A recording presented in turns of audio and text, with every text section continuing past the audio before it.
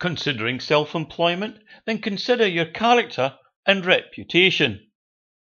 For bank managers often lend money on character, but seldom on reputation alone, for they have learned that not all reputations are deserved. When considering a loan, a bank manager attaches a great importance to three things the borrower's ability to repay, the borrower's credit history, and the borrower's character. The first two considerations can be calculated using simple maths and logic, but the third requires judgment and experience. Prudent bank managers have learned that persons of character are always a good risk because they take their obligations seriously, while those who spend their resources on the trappings of success should be avoided at all costs.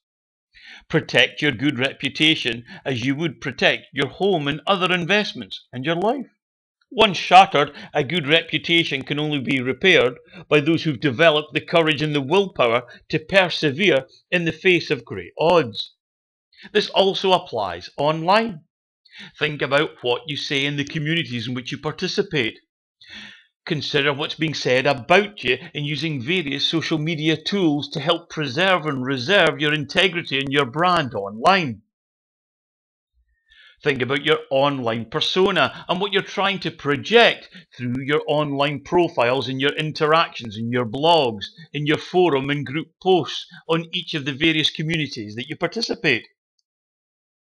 If you're considering self employment and if you want more help, guidance, and support, then why not visit www.consideringselfemployment.com?